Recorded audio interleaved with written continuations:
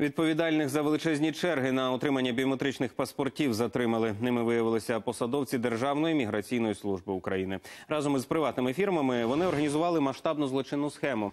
Українцям пропонували отримати паспорт без черги. За це вони мали заплатити від 2,5 до 25 тисяч гривень. Тоді як черги для тих, хто хотів отримати паспорт законно, створили штучно. До схеми були залучені майже 20 підприємств. А дехто з керівників посадовців виявився ще й наркоділком.